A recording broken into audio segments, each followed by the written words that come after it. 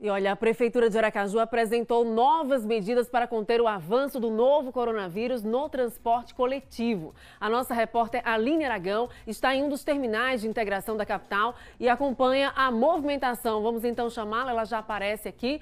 Bom dia novamente, Aline. A gente sabe que o transporte coletivo tem sido alvo de muitas críticas, é ponto de contaminação e por isso que tem que se pensar mesmo em uma solução. Isso não é só aqui em Sergipe, é em todo o país. Conta pra gente como é que está a movimentação movimentação agora. É com você. Perfeitamente, Tamires, e por isso a gente veio aqui até o terminal do dia para mostrar toda essa movimentação. No comecinho assim da manhã, a gente sabe, é horário de pico, o terminal, os terminais ficam bastante movimentados. Ó, veja só, vou deixar o Sérgio mostrar logo as imagens aí, esse ônibus acabou de chegar. Como é que funciona? Você disse dessas medidas apresentadas pela Prefeitura ontem aos vereadores, as medidas atendem, é um pedido, uma recomendação do Ministério Público, mas na prática ainda não tem muito efeito não, viu, Tamires? Até porque falta conscientização da população. Todo mundo quer chegar no seu trabalho, não quer chegar no seu horário, e aí as pessoas reclamam de poucos ônibus, e acontece isso que a gente está observando agora. Aglomeração, muita gente junta para subir no ônibus ao mesmo tempo. Dessa forma, não tem como fazer uma fila. A gente, eu não sei se vai dar para identificar, tem um fiscal ali tentando organizar a subida no ônibus lá à frente, de camisa azul. Tem um outro fiscal, também foram 60 pessoas contratadas para trabalhar nessa organização de filas. Porém, organização de filas não tem funcionado, mas eles estão é, orientando a população, estão fazendo aferição de temperatura. O rapaz ali está com álcool também, disponibilizando álcool para a população, mas olha como o ônibus está saindo. Mostra aqui, Sérgio, a porta fechando, ó, apertado. Lata de sardinha, essa situação continua é uma das reclamações da população também sobre essa questão da quantidade de ônibus, a quantidade do efetivo. No pedido do Ministério Público, o Ministério Público ele recomenda também que nos ônibus é para andar somente a quantidade de de poltronas, de assentos, mas pelo que a gente viu, isso aqui ainda não é possível. Semana passada, outra, em outro momento, a gente mostrando a aglomeração, o Sindicato das Empresas disse que está com a frota na sua totalidade, 100% da frota, porém a gente ainda observa cenas como essa. Em horário de pico, horário que tem um maior movimento de passageiros nos terminais, os ônibus continuam saindo lotados.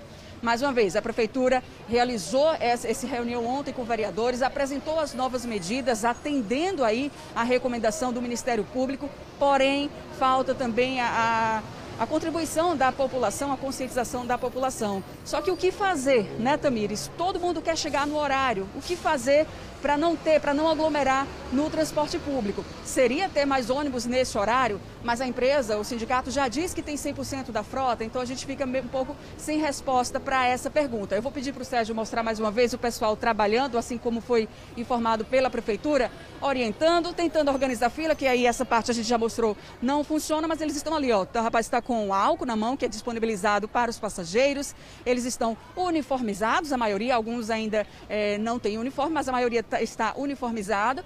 Tem disponibilização de álcool, tem orientação, tem aferição de temperatura, porém a gente ainda observa o terminal lotado nesse horário e muita aglomeração. Está chegando mais dois ônibus ali, vou pedir para segurar um pouquinho só para a gente mostrar como é quando chega um ônibus, ó, tá chegando ali é, o, o, Augusto Franco. Bugio geralmente é um ônibus de uma linha, é uma, uma das linhas mais movimentadas, né? Ela vem lá do conjunto Augusto Franco e faz esse percurso todo pela cidade até o conjunto Bugio. Geralmente é uma linha que anda super lotada. Vamos esperar só um pouquinho para ver como chega esses ônibus aí, Sérgio. Ó, esse aqui que vai para o mercado. Chega com quantidade razoável de pessoas, a gente observa que tem muita gente em pé, mas também tem assentos disponíveis. Aqui as pessoas, quando chegam ao próximo terminal, geralmente elas já começam a ficar em pé mesmo. Esse, então, está até tranquilo, não está tão lotado, não. Mas na hora de subir, ó, é complicado fazer fila aqui, viu, Tamires? Bem complicado mesmo, não tem como organizar. O, o, pessoal ainda tenta orientar, o orientador conversando com as pessoas, tentando distribuir nas duas portas, porque uma porta ficou lotada e a outra não tinha ninguém. O rapaz aqui também disponibilizando o álcool, mas a situação não é tão fácil como no papel, como dizer. Na prática é um pouco complicado você orientar a população para não aglomerar no transporte público. Tamires. Chaline, mas já é muito bom observar aí essa ação educativa é, que foi justamente colocada aí pela Prefeitura de Aracaju, esses educadores que estão lembrando a questão do álcool ali bem à porta do ônibus, isso é muito importante e já é alguma coisa, né? O que a gente continua acompanhando é esse ponto que você tocou em relação à necessidade de aumento de frota, que já foi alertado pelo Ministério Público, já houve pedido de eliminar em relação a isso, dois pedidos, mas o pedido foi negado pela Justiça. A gente continua acompanhando Afinal de contas, essas pessoas não se colocam nessa situação porque querem, elas precisam chegar em seus horários de trabalho, elas precisam cumprir as suas metas de trabalho, os seus horários e muitas vezes precisam correr e pegar o ônibus que sobra. Obrigada, Aline Aragão.